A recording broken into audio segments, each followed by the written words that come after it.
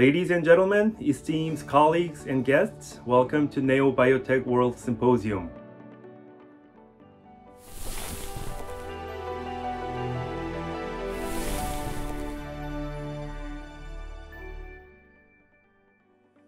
It is an honor to have you all here as we gather to explore the latest advancements and innovations in the field of implant dentistry. As we embark on this journey together, we are excited to delve into the world of Neo Biotech implants and the transformative impact they are making in our practices and patient lives.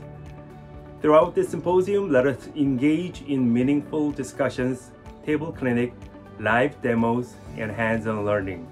Let us share valuable insights and forge lasting connections that will shape the future of implantology.